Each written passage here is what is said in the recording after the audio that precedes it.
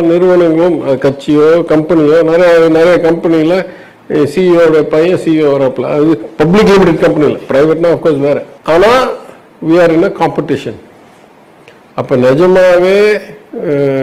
unfit தத்திகள்லாம் வச்சுக்கிட்டு சும்மா வாரிசுக்காக நீங்கள் கட்சி நடத்த பார்த்தீங்கன்னா ஏதோ திறமைசாலிகள் உள்ள கட்சி உங்களை உதச்சிட்டு போயிடும் so the market has some equilibrium ஒரு அளவுக்கு மேல்